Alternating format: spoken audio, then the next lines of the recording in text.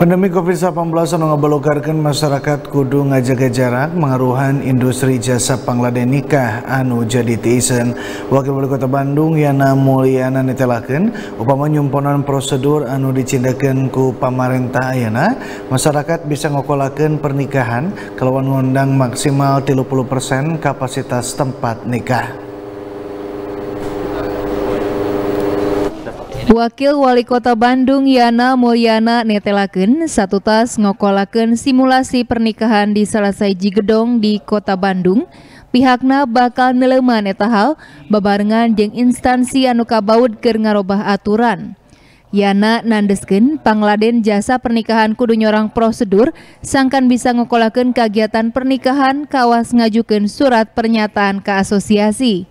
Upama acara nikahna dilakonan di imah, pihakna bakal nyorang kasapukan jeng dinas anu kabaud, sangkan standar protokol kesehatan diebrehkeun ku pihak KUA. Yana nandeskeun pernikahan kalawan konsep standing party di Pahing, dumeh jumlah tamu anu datang teka ukur. Mudah-mudahan eh, dengan dasar ini nanti kita akan kaji dinas instansi terkait untuk melakukan pelonggaran relaksasi kegiatan eh, resepsi pernikahan. Tapi tentunya lewat prosedur nanti mereka mengajukan dulu, kemudian pasti ada surat pernyataan dari asosiasi.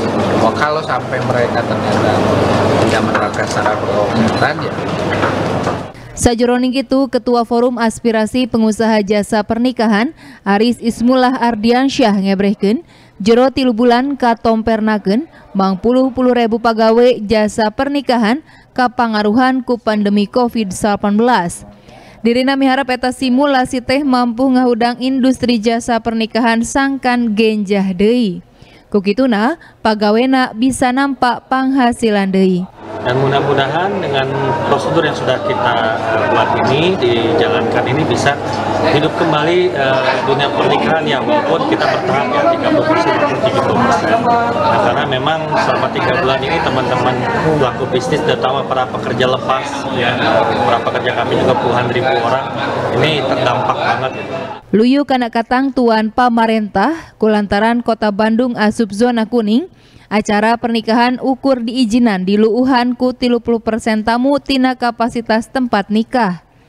Samalah eta gedong teh kudu diwawagan ku rohang isolasi ancokeun tamu anu hawa awakna leuwih ti 37 derajat Celcius.